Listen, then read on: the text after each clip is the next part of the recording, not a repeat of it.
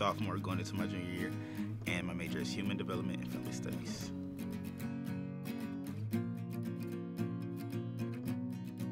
So I would definitely like encourage freshmen to go look for the guidance.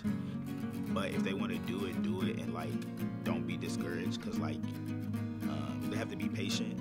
They're not going to see immediate results from starting an organization. But if they're patient and they just